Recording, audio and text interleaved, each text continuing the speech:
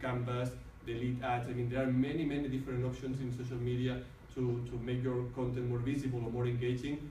We, we like to be the first to, to, test, to test everything. Also, we, we consider ourselves pioneers in many things.